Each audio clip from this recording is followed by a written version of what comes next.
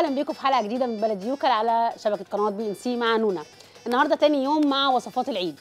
امبارح عملنا إيه؟ عملنا الفتة بثلاث أنواع. عملنا الفتة اللحمة الأصلية اللي هي المصرية بتاعتنا وعملنا كمان فتة الموزة وعملنا فتة الريش. يبقى عندنا ثلاث أنواع نجدد في العيد بتاعنا. النهارده نعمل إيه؟ أنا قلت لكم في العيد أو في الأسبوع بتاع العيد بالبلدي كده هنمسك الذبيحة كلها وناخد حتة حتة ونعملها بكذا شكل وبكذا لون. النهارده هعمل إيه؟ هعمل الكوارع.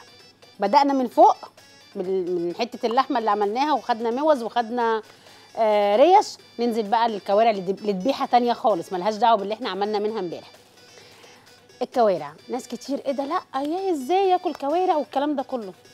لو أنتوا عاملينها بايديكم وعاملينها في البيت مش هتقولوا الكلام ده. لو شفتوا شكل الشوربة اللي إحنا عاملينها النهارده وعملتوها زي ما أنا ما عاملاها ودقتوها وشميتوا ريحتها مش هتقولوا الكلام ده. طريقة تنظيف الكوارع نفسه لو عملتوها زي ما أنا ما بقول وشميتوا ريحتها ولا هتلاقوا فيها زفارة ولا هتلاقوا ولا هتعرفوا أصلا إن دي ريحة كوارع هتاكلوها وأنتم مرتاحين نفسيا من جوه. نبدأ من أول حاجة الكوارع. أغسل الكوارع إزاي؟ جت من عند الجزار مصموطه مصموطه يعني إيه؟ يعني متشال من عليها الشعر ونضيفة وزي الفل. بيضة. أنا عن نفسي بجيب الكوارع من عند الجزار أقول له أنا عايزة كوارع بيضة. ما بجيبهاش سودا عشان الشعر الأسود مهما بيتشال بيفضل برده في نقط سودا كده أنا عن نفسي بتضايق منها وما بحبهاش. فبجيب الكوارع البيض. جت من عند الجزار. اعتمدت على غسيل الجزار؟ لا طبعا. اعتمدت إن أنا أحطها في مية والكلام ده كله؟ لا طبعا ما بعملش كده. بعمل إيه؟ بتيجي لي طبعا نضيفة ومتقطعة. هاخدها بيبقى فيها شعر بسيط. هعمل إيه؟ قلتها كذا مرة قبل كده لما عملنا الكوارع وما فيهاش عيب ولا الكلام ولا إزاي اللي انت بتقوليه دوت. لا عشان آكل حاجة نظيفة أنا بدور على كل الطرق اللي بتنضفها لي. بعمل إيه؟ بيبقى فيه شعر بسيط قوي كده موجود في الكوارع. هنضفه إزاي؟ مهما بتتسمت ومهما بتتشال لازم يبقى فيه شعر بسيط عند الضافر أو عند الحروف بتاعة الضافر بتاع الكارع. بعمله إيه؟ بجيب مكنة حلاقة جديدة من عند السوبر ماركت أو من الصيدلية وببدأ إن أنا أول ما تجيلي الكوارع بحطها في طبق كبير عليها دقيق على الناشف. ما بحطلهاش ولا نقطة مية خالص.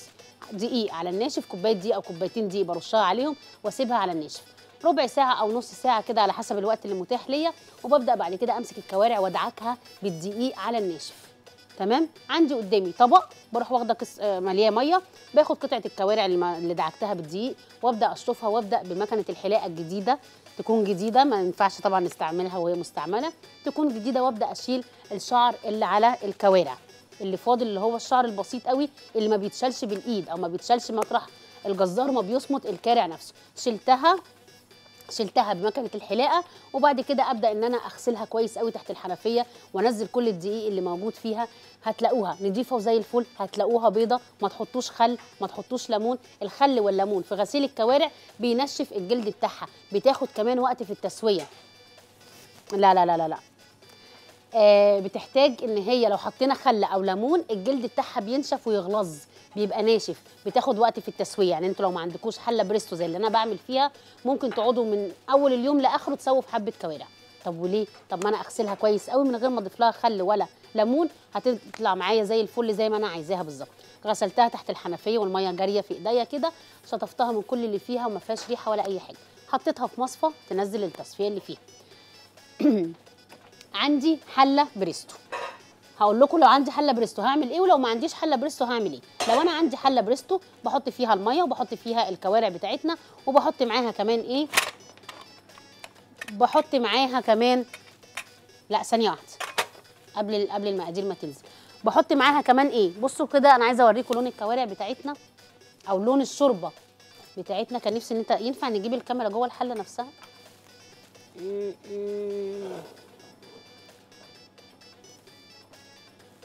بصوا لون الكوارع عاملة إزاي؟ بصوا لون الشوربة نفسها عاملة إزاي؟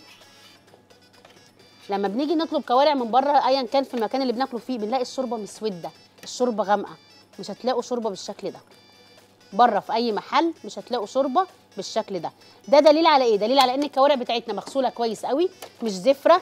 الحاجات اللي إحنا بنتبل بيها الكوارع أو شوربة الكوارع زي الفل مديانا نكهة حلوة. مش حاطة بهارات لا أنا كل اعتمادي في الكوارع ملح وفلفل أسود. مش حاطة أي حاجة تانية. نيجي بقى دلوقتي لو أنا عندي حلة بريستو أهو. حطيت فيها الحلة حطيت فيها المية وحطيت فيها الكوارع وقفلتها. الناس اللي عندها حلة بريستو ما بتعرفش تستخدمها إزاي. لو الغطا عندك ما فيهوش الكاوتشة دي أو ضايع منك يبقى الحلة كده بايظة. لازم الكاوتشة دي تكون في الغطا. تمام؟ أدي الغطا بتاعنا وأدي الحلة أهي. عندي هنا إيه في الغطا؟ عندي دي اللي هو ده كده. ده كده أدام هنقفله لازم وهي بتستوي أو وهي بتغلي لازم نقفله. ليه؟ ده بيبقى كاتم البخار جوه الحلة علشان تستوي بأسرع وقت. الكوارع اللي أنا قدامكم ديت أنا خدت في تسويتها ساعة مش أكتر من كده. لو بالحلة العادية هناخد طبعا نص يوم. لو إحنا حاطين عليها خل أو ليمون هناخد يوم بطوله ده كده أهو. لازم يبقى مقفول بالشكل دوت وأنا بسوي. ماشي؟ عشان أعمل الغطا. عندي هنا قفل أهو في الجنب. بعمل كده وأروح دايسة من فوق اتقفلت الحلة بتاعتنا.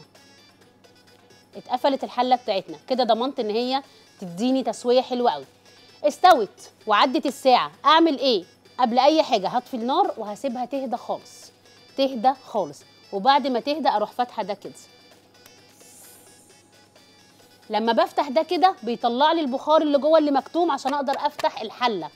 لو ده ما اتفتحش والبخار ما طلعش الحله هتعصلك في ايدي مش هفتحها. توماتيكي توماتيكي. وارجع بعد كده بعد ما افتحها كده خلاص اهو البخار طلع بعديها بشوية تلاقوا بقى البخار بدأ يطلع. أروح جايبه عند القفل ده كده وفاتحة بتتفتح دي معايا اهي وأروح شايلة على طول. ده للناس اللي عندها حلة بريستو. نقفل تاني اهو ونسيبها. ما عنديش حلة بريستو عندي حلة عادية. هعمل إيه؟ ناس تقول حطوا سكر على الكوارع عشان تستوي بسرعة. طب أنا إيه اللي يخليني أسربع نفسي؟ هاجي قبلها بيوم بالليل لو أنا عندي مثلا عزومة تاني يوم وعايزة آكل كوارع تاني يوم أو يوم جمعة أو لمة عيلة أو الكلام ده كله هاجي قبلها بيوم أغسل الكوارع زي ما قلت لكم وأروح حطاها في مية. باردة. تغلي غلوتين وأروح شايلاها من المية ودلقه المية دي. بس أهم حاجة مش المية تغلي وأروح حاطة الكوارع. خلوا بالكم اللي أنا بقوله ده عشان تاكلوا كوارع نضيفة وزي الفل. المية باردة وأروح حاطة فيها الكوارع من غير أي إضافات ولا لورا ولا حبهان ولا الكلام ده كله خالص. مطرح غليان المية وهي بتغلي مع الكوارع أصلا لو فيها أي رواسب أو فيها أي زفارة هتطلع معاها. خدت الغلوتين رحت شايلاها من المية دي ورحت دلقة المية دي وجايبة حلة نظيفة حاطة فيها مية مية سخنة حطيت فيها إيه؟ لورا حبهان طماطم أربعة بصل أربعة وجزر شرايح. تاني لورا وحبهان طماطم متقطعة أربعة بصل متقطع أربعة وجزر شرايح. أكتر من كده مش عايزة. بزود أنا عليها إيه؟ مكعبين مرقة. مكعبين مرقة مع الكوارع وهي بتتسلق. بيدوني لون المرقة بتاعتنا دي ما بتبقاش رمادي ما بتبقاش لونها باهت ما بحطش فلفل أسود وهي بتغلي عشان ما يسودليش الشوربة. كل ده ما بحطهوش. بقفل عليها. طب ثانية واحدة بس أقول عشان ما أفصلش منهم. بعمل إيه؟ عملتها من بالليل وعملت اللي هي الغلوة اللي أنا غيرت فيها المية وحطيت مية نظيفة سخنة وحطيت فيها المكونات بتاعتي ونزلت فيها بيها في الكوارع. غلت غلوتين ثلاثة مش أكتر من غلوتين ثلاثة وأروح طافية النار وكمراها يعني إيه كمراها؟ يعني مغطياها وأسيبها للصبح.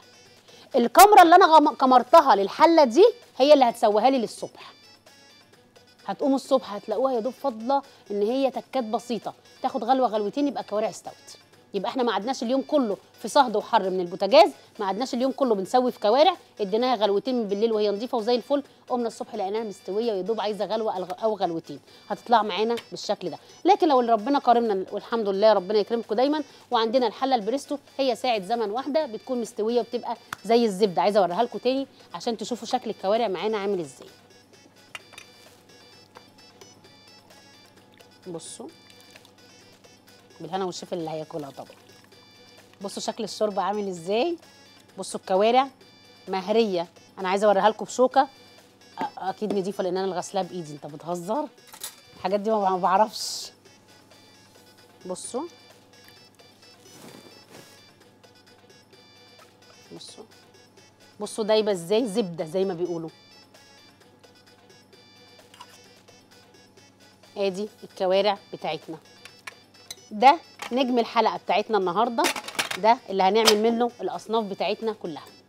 تنزل بقى المنيو بتاعنا بتاع سريق الكوارع. أنا ما رضيتش إن هو ما رضيتش إن هو ينزل في الأول. أنا قلت إن أنا أقول لكم طريقته.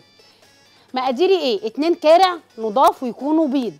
نوصي الجزار كده ويكون معرفة. ربنا يستر بس من كلمة معرفة دي. نوصي الجزار إن هو يجيب لنا الاتنين كارع بيض ويكونوا القدامانيين. اتنين كارع أبيض يكونوا القدامانيين. ما نجيبش الكوارع اللي من ورا. يعني نجيب الرجول اللي قدامانيه بلاش اللي ورا. هتلاقوا فيها فايدة أكتر نظافة أكتر أحسن.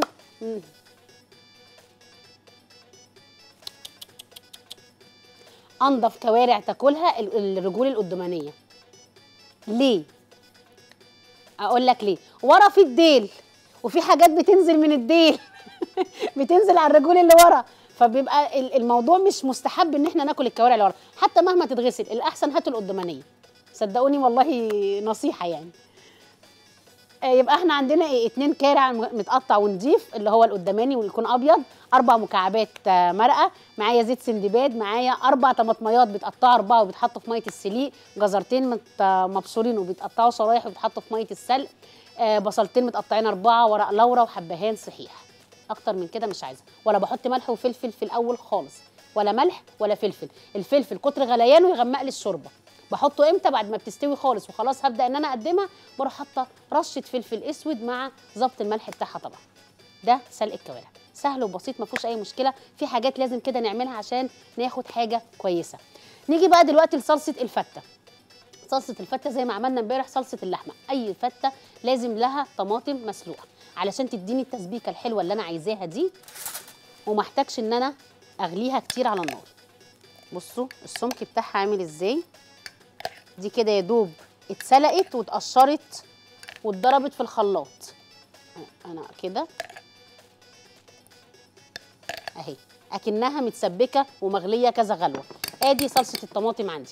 عشان أعمل بقى صلصة الفتة قلنا امبارح إيه؟ صلصة الفتة ما بتحتاجش غير توم وخل وطماطم. وزبده وزيت.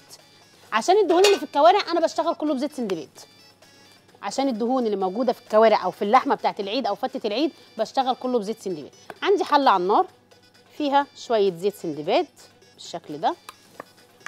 هعمل إيه؟ هنزل عليها بتوم. مش عايزاه ان هو يتحمر عشان ما يغمقليش الصلصه وفي نفس الوقت ما يتحرقش وابقى حاسه بمراره فيه. ادي الزيت وانزل بالثوم بالشكل ده. مقادير الصلصة إيه؟ زي ما قلنا امبارح صلصة طماطم مسلوقة ومضروبة ومتقشره ومضروبة. تتقشر الأول بعدين تتضرب عشان ما احتاجش إن أنا أصفي. صلصة طماطم ايا كان الكميه اللي أنتوا عايزينها عندي توم عندي زيت سندباد بلاش آه زبدة هستخدم كله بزيت. كفاية الدهون اللي في الكوارع. وعندي كزبرة وعندي خل. بالشكل ده كده أهو. بس الكزبرة مش لل مش للصلصة. الكزبره مش للصلصة. منزلي مقادير الصلصة كده صلصة الطماطم أو صلصة الفتة. بنعملها إزاي؟ حطينا زيت. ماشي تمام. ماشي. حطينا زيت سندباد. حطيت عليه معلقتين توم مفروم آه صلصة الفتة. 3 كيلو طماطم مسلوقة ومتقشرة ومضروبة. معلقتين كبار توم. هنشيل الزبدة. هنعملها بزيت. زيت سندباد خل. آه لا ما فيهاش كزبرة. لا لا ما فيهاش كزبرة. شيل الكزبرة وادي ملح وفلفل أسود. بصوا كده معايا أدي التوم بدأ إن هو يتحمر وياخد لون مصفر. مش عايزاه إن هو يت يتحمر أكتر من كده. بصوا لونه عامل إزاي. ده لون التوم اللي أنا عايزاه. معايا فتحي عشان اطشه تمام كده. هبدأ إن أنا أعمل كده. نزلت بالخل وأروح نازلة على طول عليه بالطماطم. بسم الله.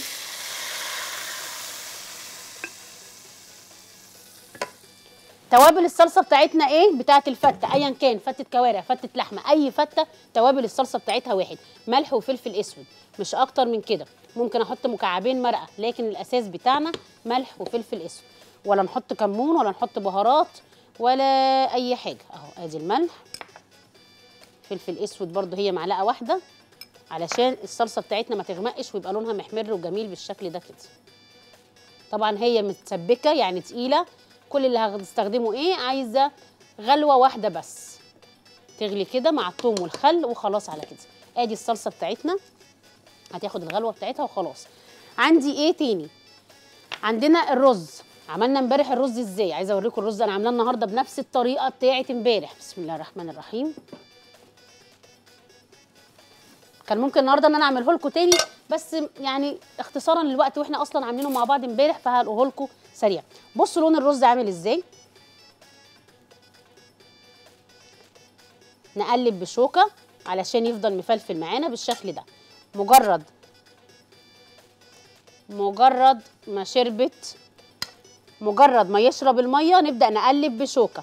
بصوا لون الرز عامل إزاي. نقول طريقة الرز بسرعة. طريقة الرز عملنا إيه؟ ايا كان الكمية اللي هتعملوها كيلو اتنين زي ما أنتوا عايزين. بنغسله. المناديل فين؟ اهو. بنغسله وبروح مصفياه ماشي كده؟ بعد ما غسلته وصفيته الكمية اللي أنتوا عايزينها اعملوها بعمل إيه؟ بجيب حلة وبحط فيها زيت سندباد عشان يطلع مفلفل وفيه اللمعة دي. مش عايزة أستخدم زبدة خالص لأن أنا معايا إيه؟ معايا حاجات فيها دهون حاجات دسمة فمش محتاجة إن الرز كمان يكون دسم. حطيت إيه؟ حطيت شوية زيت سندباد ربع كوباية مثلا على الكيلو ورحت حاطة فيه فصين توم مفرومين. توم في الرز آه توم في الرز. قلنا امبارح إن ده بيدي taste عالي قوي ويحسسنا إن في فرق بين الرز الأبيض العادي اللي بيتعمل جنب خضار والرز الأبيض بتاع الفته حطيت حاضر أول بس طريقه الرز ونطلع عشان نبقى نرجع على حاجة جديدة. حطيت زيت سندباد وحطيت فيه معلقة توم مفرومة. يا دوب ما تاخدش لون أنا عايزة بس إن هي تشكشك مع الزيت. طشيتها بمعلقة خل. معلقة الخل اللي حطيناها إيه فايدتها؟ بتدينا طعم الطشة بتاعت الفته وبتدينا اللون الشاهق للرز اللي حضراتكم شايفينه ده. بصوا الأبيض الشاهق ده هو ده لون الرز بتاع الفتة اللي هو بالشكل ده كده. ما بتأثرش على الطعم. اللي بيتاثر على الطعم بتاع رز الفتة إيه؟ التوم. هو ده اللي بنحس بيه لكن ما بنحسش بالخل. رحت نازلة بعد كده بالرز ورحت مقلباه تقلبتين ثلاثة مع الزيت مع الخل مع الثوم اتشوحوا كلهم في بعض وشربوا من بعض ورحت حاطة عقد المية. عقد المية اللي ما بيعرفش يعمله بالعين أو يظبطه بالعين بنظبطه بالكوباية. خمسة رز عليهم خمسة مية مغلية. ما نحطش أكتر من كده. المقدار الرز زي مقدار المية. لو عملت اللي أنا بقوله مش هيعجن منك. حط نفس المقدار. آه نفس مقدار الرز هو هو مقدار المية. آه نديله العادي بتاعه نحط له ملح ما نحطش أكتر من كده. ما نسقهوش بشوربة الكوارع هيغمق لنا الدنيا وهيجليط معانا وي- ويبقى فيه دهون كتير فمش مستحب طبعا. وبعد كده بنسيبه على نار عالية مجرد ما يبدأ إن هو يتشرب بروح مقلباه بشوكة وأروح مغطياه على نار واطية. وأسيبه بيطلع معايا بالشكل اللي حضراتكم شايفينه ده. هطلع فاصل. قبل ما أطلع من الفاصل هعمل إيه؟ آه، أما أرجع من الفاصل هعمل إيه؟ أنا طبعا عاملة الكوارع عندي. الصلصة بتاعتي خلصت على النار والرز خلص. هرجع من الفاصل نعمل إيه؟ نشوف هنعمل الفتة بتاعتنا إزاي وهنقول عملنا العيش إزاي. عم قلنا عليه إمبارح بس هقوله لكم تاني النهارده. وهنشوف هنقدم الفتة بطريقة مختلفة النهارده وهنقدم معاها شوربة البهاريز اللي هي الناس كلها لما بتتعمل كوارع لازم تتاخد شوربة البهاريز. وهنشوف إيه اللي سماها شوربة بهاريز وإيه هي البهاريز اللي بتبقى فيها. كل ده هنشوفه بعد الفاصل. اوعوا تروحوا في أي حتة ومستنياكم كل سنة وأنتم طيبين يا رب.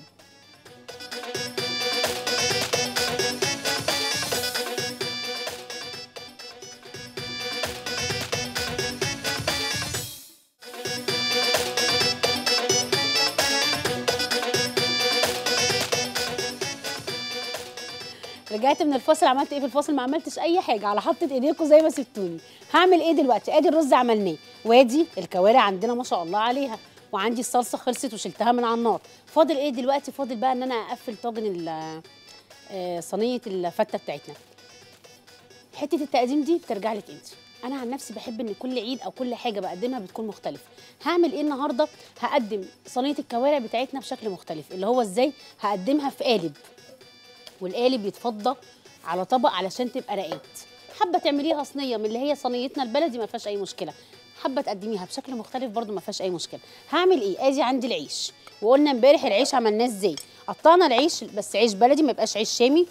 الفتة أساسيها بلدي فتة لحمة فتة كوارع ايا كان فتة إيه هي أساسيها بلدي. لما بنخش بقى في العيش الشامي فتة شاورما فتة آه، بتنجان ايا كان الفتات التانية بتتعمل بالشامي لكن دي بلدي عيش بلدي. بنقطعه بالمقص أو بالسكينة أو بإيدينا زي ما أمهاتنا كانوا بيعملوا. وببدأ أعمل إيه؟ زي ما قلت امبارح بنحط عليه زيت وحط عليه توم رشة ملح رشة شطة بنقلب كله مع بعض وبروح حاطاه في الفرن وأديله تقليبه علشان يطلع معايا بالقرمشة والطعم الجميل اللي حضراتكم شايفينه ده. هعمل إيه دلوقتي؟ هجيب طبق غويط كده أو أو بولة. أنا كده بقفل طاجن الفتة بتاعي أو صينية الفتة. هعمل كده. عشان أنا مش عايزة إن أنا أقدمها بشكل تقليدي عايزة أقدمها بشكل مختلف. الرخامه عندي نظيفة.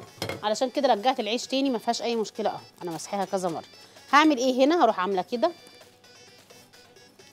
أهي. حاجة بسيطة كده. مش عايزة كتير عشان أنا عايزة أحس برضو بقرمشة العيش.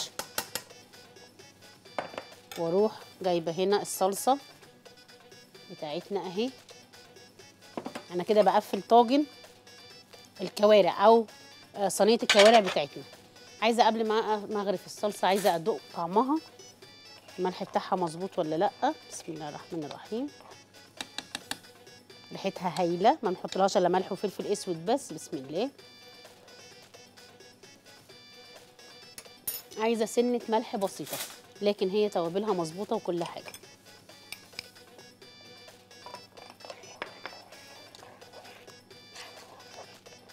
أنا واحدة من الناس بتحب تدوق الأكل عشان يطلع مظبوط باجي ساعة الأكل ما باكلش. دي حاجة معروفة يعني. نعم. وأحط شوية صلصة كده.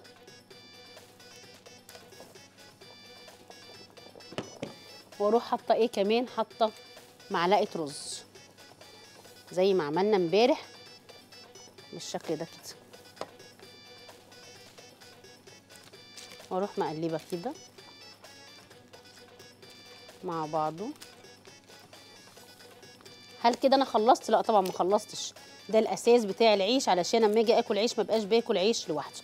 عندي الطاجن بتاعي أهو. وعندي كوارع مخلية. من الكوارع بتاعتنا بس مخلية. هروح واخدة كده. عاملة. أنا. بيخلوا آه والله. كل واحدة شايفة إن جوزها وعيالها بيحبوا إن الكوارع تكون مخلية وما بيحبوش يمسكوها بتخلي الكوارع. خالص. تهيألك والله.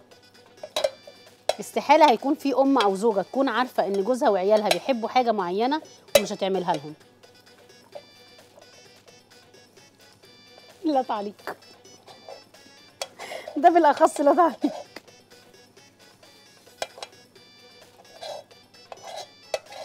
ده موضوع للنقاش يعني. حطينا الكوارع المخلية في الأرضية كده وهبدأ أعمل كده.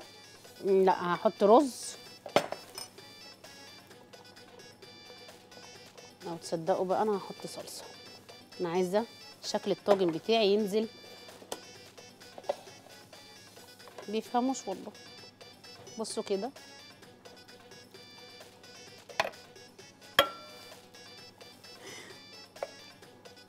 صلصة بسيطة كده على الكوارع المخلية اللي إحنا حطيناها.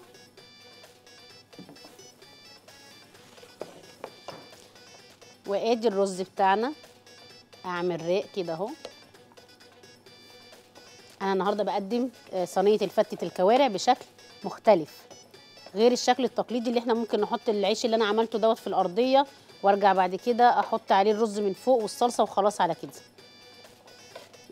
أكيد في العيد مش هعمل هي هي الصينية كل يوم بس المرة دي بدل لحمة أحط كوارع. لا لازم يكون في اختلاف في التقديم علشان يبقى العيد معانا مختلف. العيد مع بانوراما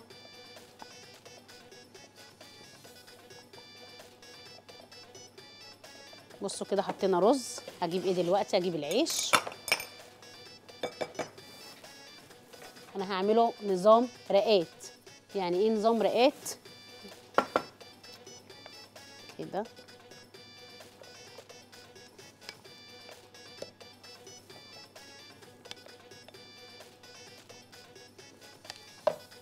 العيش طبعا بتاعنا طري من الشوربة اللي حطيناها طري من الصلصة طري من من الرز. بس ده ما يمنعش ان هو لسه فيه سنة قرمشة مش ان أنا باكل عجين وبس.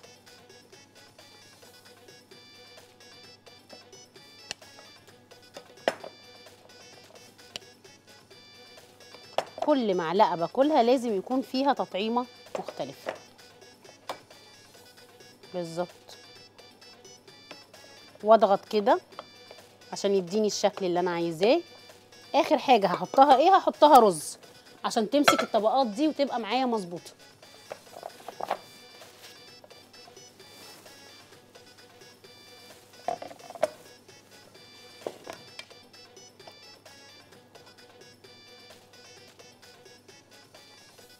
هنشوف لما يتقلب معانا هيكون شكله عامل إزاي ويستحق اللي إحنا بنعمله ده ولا لا. هو ما خدش مننا كتير وما خدش مننا مجهود بس اهم حاجة شكله اللي هيتقدم في الآخر اللي هيفتح النفس.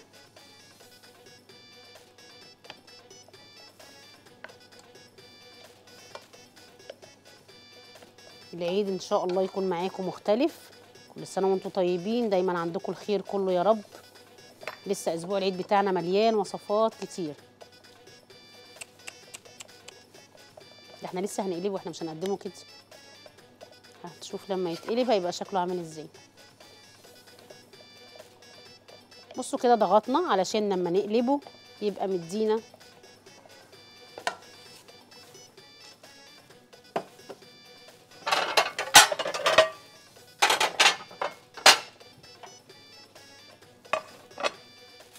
كده أنا خلاص. طاجن. الكوارع بتاعي أو فتة الكوارع بتاعي تمام. بسم الله الرحمن الرحيم. ممكن نجيب طبق غير ده عشان يبقى أصغر.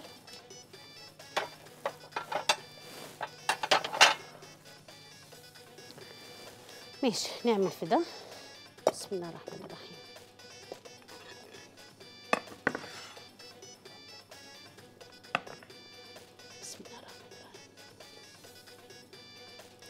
استنى الكوارع لازقة الناحية دي.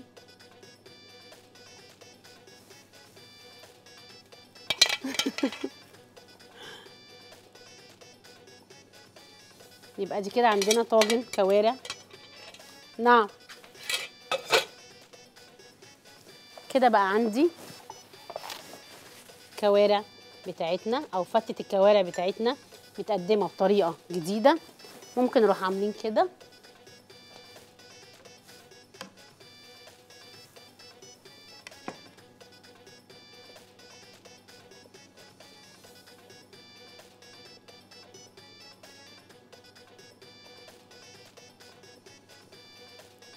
شكل غير الشكل التقليدي.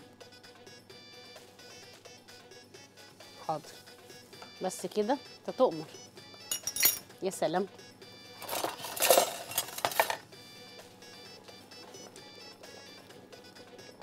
غالي والطلب رخيص.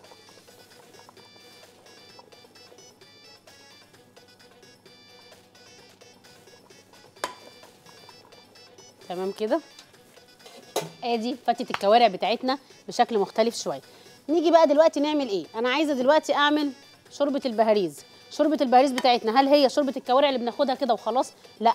شوربة البهاريز دي أنا اتعمدت إن يكون فيها كوارع مخلية اتعمدت يكون فيها النخاع اللي بيطلع من الماسورة. طبعا الشباب بتوع الأيام دي والجيل اللي طالع من سنة 2000 كده صح ولا إيه؟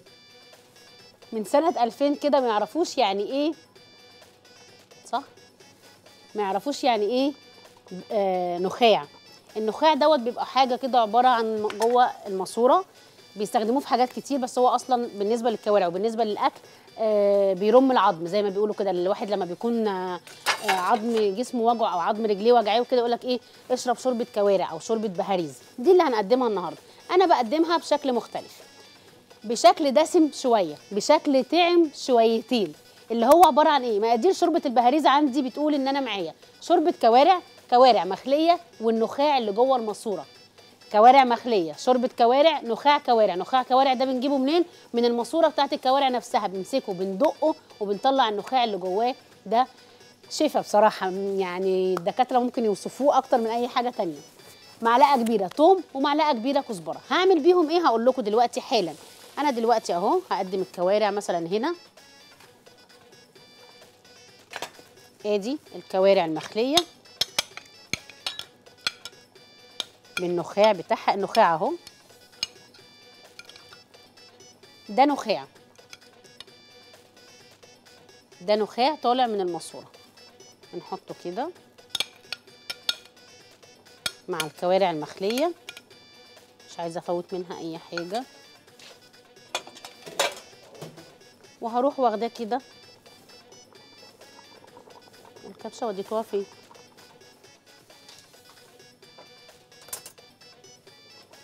وأروح واخده من الشوربة بتاعتنا.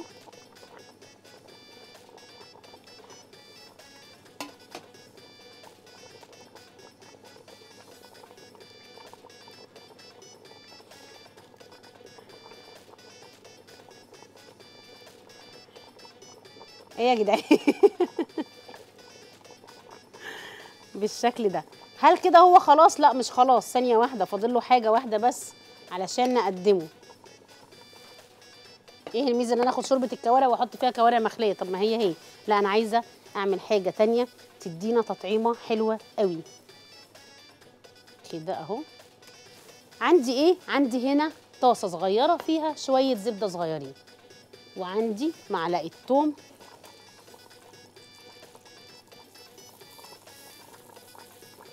بالشكل ده.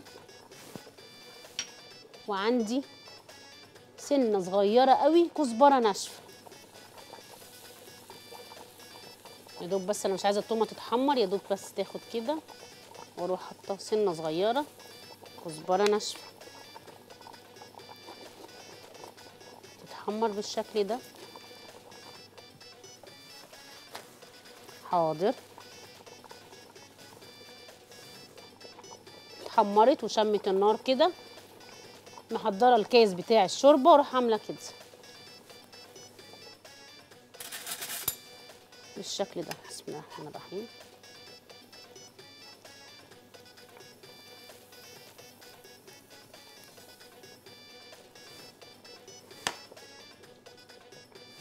نعم.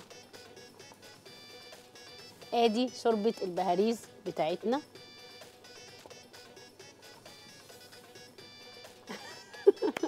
هطلع فاصل وارجع من الفاصل عندنا آه عندنا كوارع بالكزبرة وعندنا آه طاجن الكوارع بالحمص في الفرن. كل ده هنعمله بعد الفاصل اوعوا تروحوا في أي حتة ومستنياكم.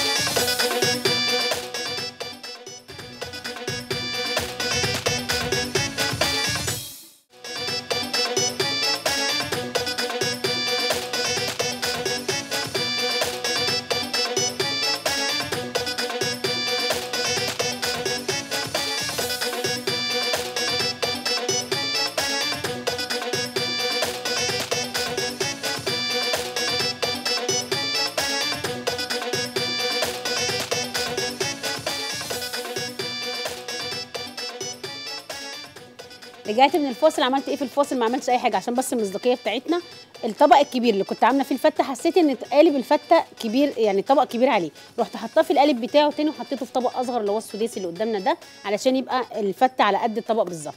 عملت إيه تاني؟ ما عملتش أي حاجة غير إن أنا جبت الحمص بتاعي عشان دلوقتي هنعمل إيه؟ هعمل طاجن فتة الكوارع بالحمص. عايز تعملي إيه؟ هقول لكم دلوقتي هعمل إيه. حاجة سهلة وبسيطة قوي. سلقت حمص الشام كوباية عندنا ربع كيلو سايبينه في المطبخ. رحت ماسكاه حاطة مية مغليه نقعته قبلها الأول بساعتين في مية. ورحت بعد كده رحت حطاه وغليته. بإيه؟ بشوية ملح أهم. ملح بسيط مش كتير. ليه؟ لأن لسه هحط عليه صلصة فأنا مش عايزة إن هو يبقى متملح خالص. أهو بالشكل ده كده. استوى معايا؟ آه استوى معايا. ناقص إيه دلوقتي؟ عندي في المقادير بتاعة الفتة الحمص عندي عيش محمص وعندي طاجن فخار وعندي إيه تاني؟ وعندي توم وعندي صلصة الفت. ده طاجن الحمص اللي إحنا هنعمله. هعمل إيه عشان أقفل طاجن الحمص بتاعنا وأحطه في الفرن ياخد تشميعة ولسوعة حلوة كده؟ هعمل كده وأروح جايبة كده.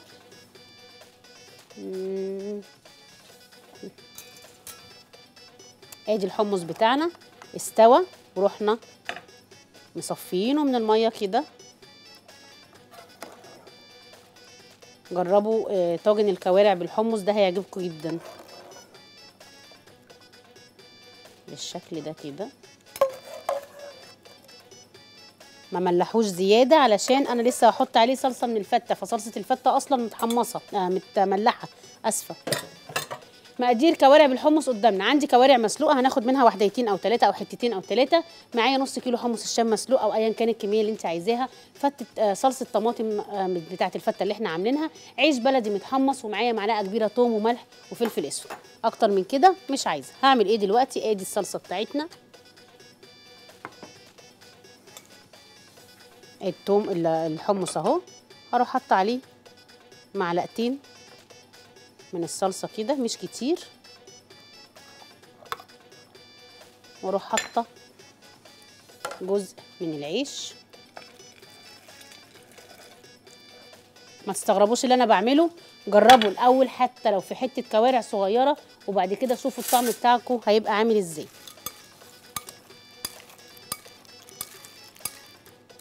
قلبنا العيش. ما نكترش الصلصة عشان أنا عايزة العيش يبقى فيه قرمشة. ولما يطلع من الفرن مع الكوارع يبقى برده فيه القرمشة دي يتاكل مع الحمص بيدي طعم حلو قوي عندي إيه هنا؟ قبليها أهو معلقة التوم أنا عايزاه يكون توم ني معلقه صغيرة كده. ممكن حد يقول لي طب ما أنت حاطة توم في الصلصة. آه بس أنا عايزة دوت ني يعلي لي ال taste شوية. وأروح جايبة الطاجن بتاعي وعاملة كده بالشكل ده كده.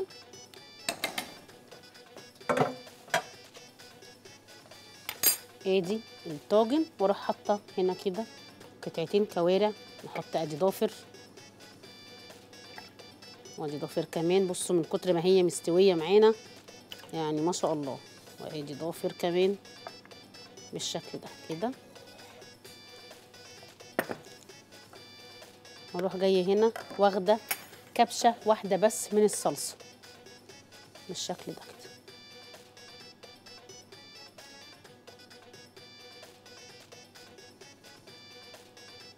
أكتر من كده مش عايزة.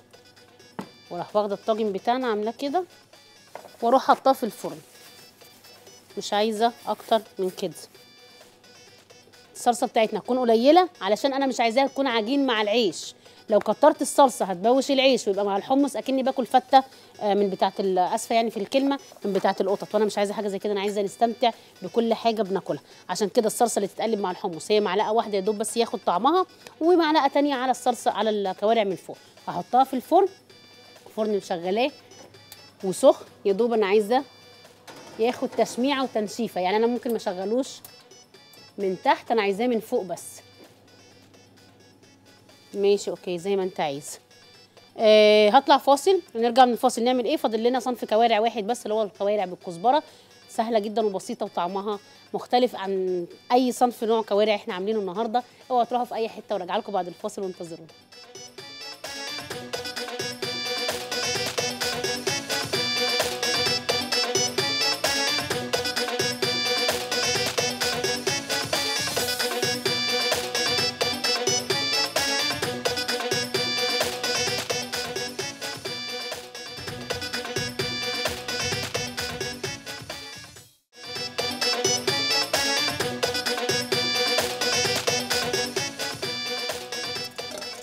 رجعت من الفاصل عملت إيه في الفاصل؟ كل اللي عملته غرفت الكوارع بتاعتنا. بصوا شكل الشوربة بتاعتها عاملة إزاي. كوارع بالحمص في الفرن. نعمل دلوقتي الكوارع بالكزبرة. أسهل منها مفيش. كل اللي هحتاجه عايزين نحط زبدة. ماشي عايزين نحط زيت. ماشي. بس الأفضل إن أنا هحط زبدة معاها كمان زيت سندباد. بالشكل ده كده أهو.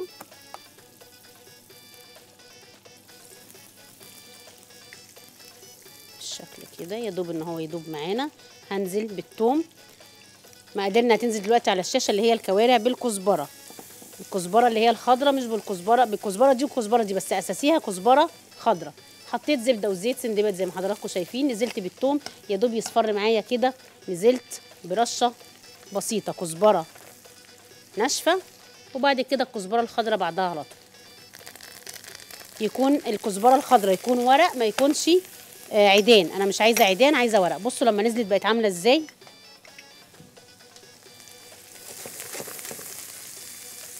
عايزة إيه؟ سنة ملح بسيطة وسنة فلفل أسود. كوارع طبعا عندي مسلوقة هعمل كده.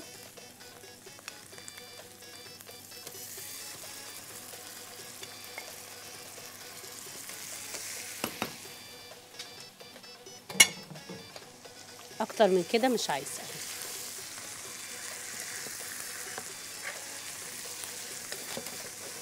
على ما تتشكشك معانا شوية نطلع الطاجن بتاعنا اللي في الفرن.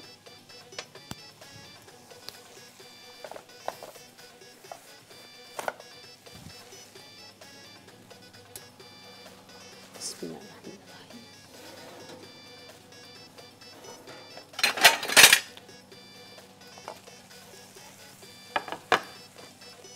حطيته في الفرن نشفته عايزة السوعه أكتر من كده شوية ما فيهاش أي مشكلة.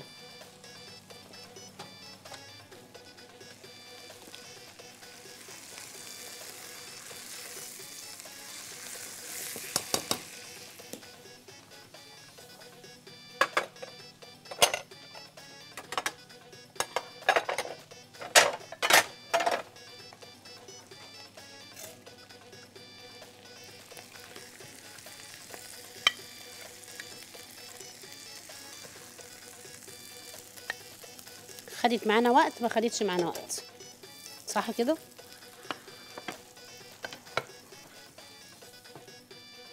عايزة جنب الفتة.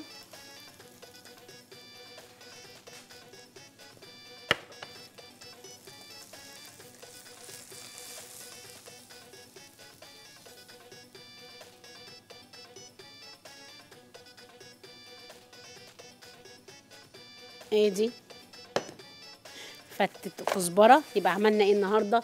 في تاني يوم من أسبوع العيد. عملنا شوربة البهاريز. هي أول حاجة هي عاملينها. آه، فيها الكوارع المخلية وفيها النخاع. عملنا هي ديت.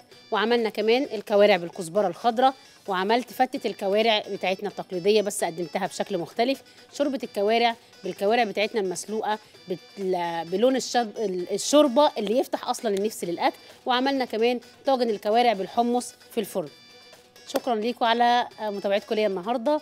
وإن شاء الله أشوفكم بكرة في حلقة جديدة من أسبوع العيد ومكملين وصفات العيد كل سنة وأنتم طيبين. ويجعل أيامكم كلها خير وبركة إن شاء الله.